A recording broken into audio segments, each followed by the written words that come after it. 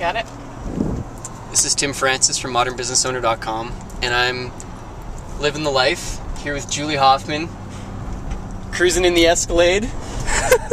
so, Julie, tell me why is your es- Escalade emblem dented on, like, you know, right where the horn is? You're going left here. Right here. Yeah. Why is my emblem dented? Yeah, what happened? Well, I was just having a really bad day and I just had enough. so I punched it.